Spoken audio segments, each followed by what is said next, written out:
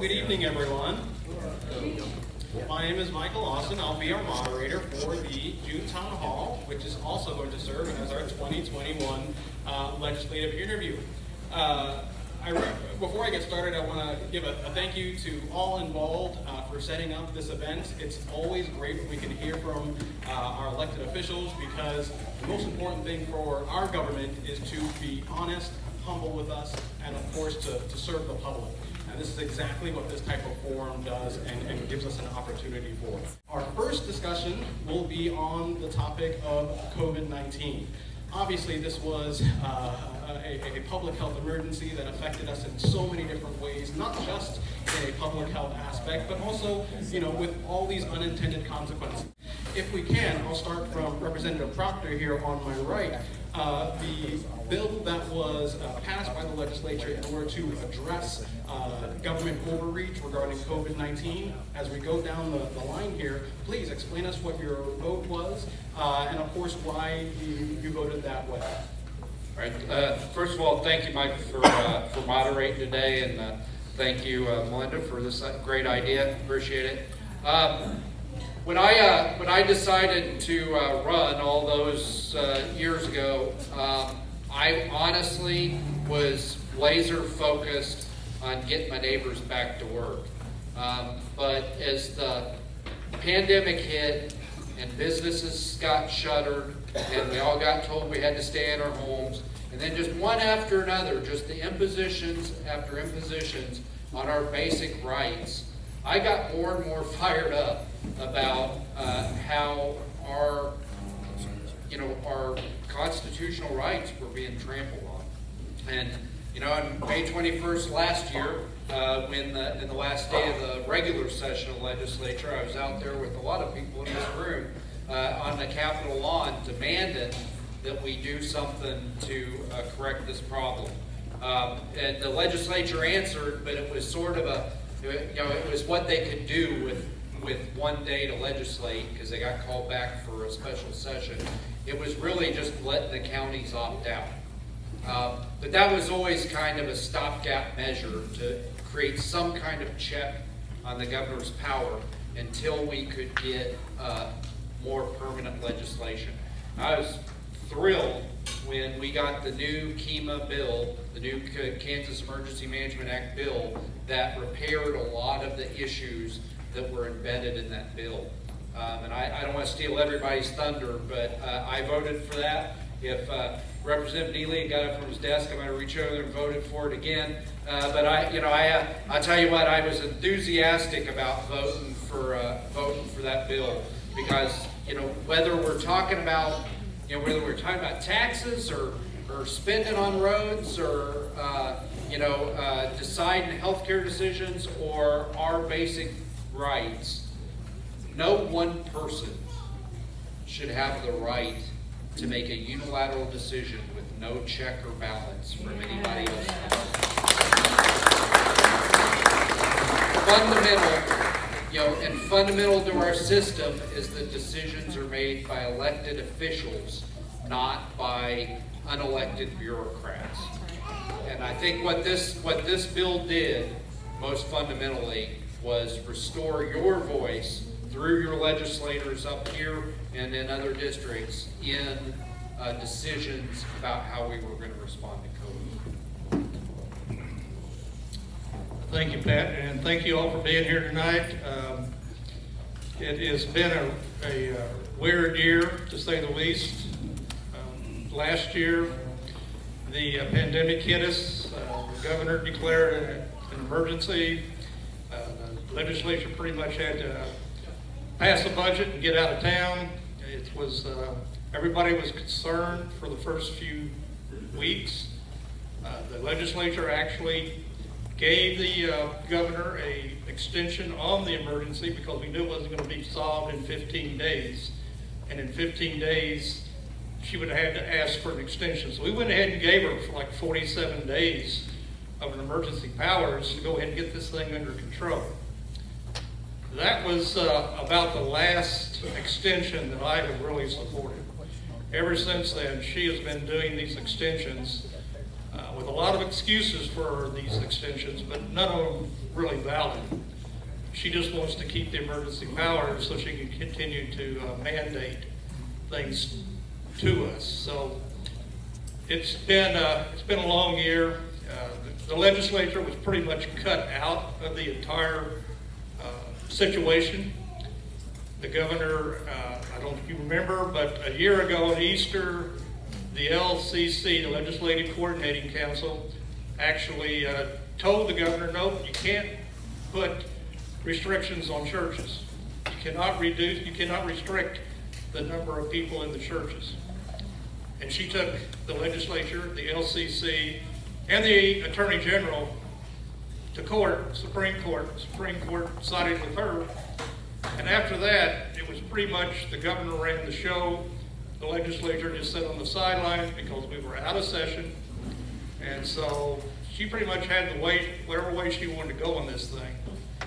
Like Pat said, uh, we, first priority this year, even to me, almost as important as value them both, was updating the uh, Kansas Emergency Management Act. That had to be updated quickly. We had to get control of the governor. We had to get the legislature back involved.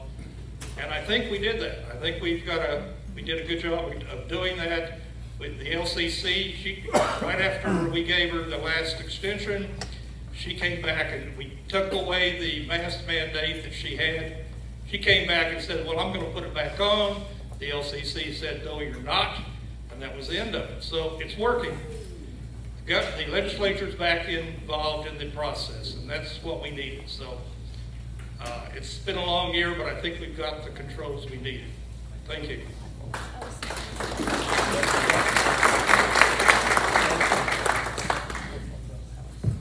making sure this one's on. Uh, First off, I'm still waiting for something that uh, Governor Kelly says that I haven't voted against. Um, I think there was a lunch or something she picked, and I didn't agree with that one either. But uh, uh, I'm one of the lucky ones that actually got to hear the KEMA bill as it came through committee. Um, When I say lucky, that, that, I'm joking, because it was dozens and dozens of pages of things that uh, many did not realize were involved with uh, the Emergency Act. And uh, one of the big things that we had to look at was we were using the National Guard and the ability to use the National Guard uh, requires us to have the Emergency Act in place.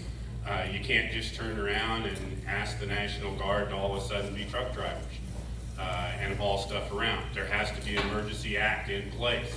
Uh, that was one of the reasons for the extension uh, in order so that they could uh, proceed in getting the vaccinations out. It's one of the few things that actually ran smoothly. Uh, when you start talking about our military, uh, they are excellent and they're fantastic at getting things done. And if we'd have done that sooner, everything, we probably wouldn't have been last on the list in getting our uh, vaccines out to people. Uh, but I heard uh, about four days of uh, the KEMA bill and uh, in judiciary, and it was, uh, you know, very, very intricate. We worked very hard. There were a lot of things in there that we put in place just in case because our governor is is one of those that's way over here. No, she's way. But uh, they, uh, we had to put in that she not stop uh, selling firearms, that she didn't stop selling ammunition uh, in in the Emergency Act. Uh, these are ridiculous things that, that uh, you know, we had to consider. But when we started to talk, thinking about our governor, we said, yeah, that's probably something we should go ahead and put in there. So anyway, uh, I wholeheartedly uh, voted to, to get her out of the process and, and uh, uh, get it back and everything to where the legislative voice was, was being heard and, and involved with. I am Tim Johnson down in the 38th District, and I am proud to announce I found out on Wednesday of last week that I am actually a member of the Wyandotte County delegation now. There is one house that was annexed in Leavenworth County by Bonner Springs, one house. Talk to the mayor, they're gonna love me. Wyandotte County now has at least one Republican in their delegation.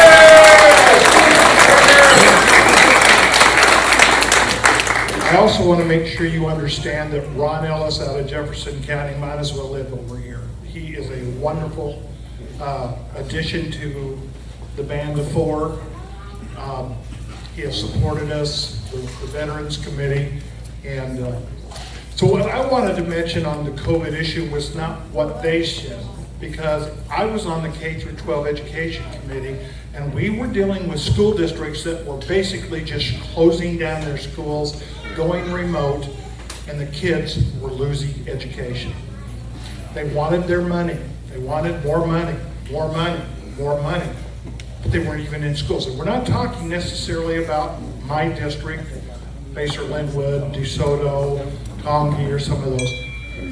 But to the east, where I'm now the delegate, there was one large district that basically the teachers stayed at home at the request of their teachers union, which shall go unnamed, KDA, and the kids weren't learning, they were at home. And they were going to come back because it was so dangerous. We just didn't understand. I do understand. I grew up in Wyandotte County. I knew exactly what that district's like. I have family there. And we battled, and in fact, they didn't go back to school until on the floor, we brought some legislation, Kristey Williams, uh, the chair of the K through 12 education, to make them come back. Two of the largest school districts in the state. And there were a couple other districts. They fought it tooth and nail. As soon as that came up on the floor, three days later, they were able to go back to school. I don't understand how that happened. But that was critical, and I really feel that was an attitude that the governor's office could have dealt with, is getting kids back to school.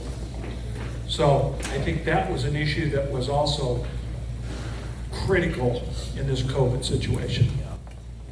Thank you so much for, for all of your responses. Uh, let's do a quick uh, show of hands on the uh, KEMA bill. If you voted to pass the KEMA bill, would you please raise your hand? Thank you. You guys had great answers. Just want to make sure we're all understood, you know, where we all stand on the issues.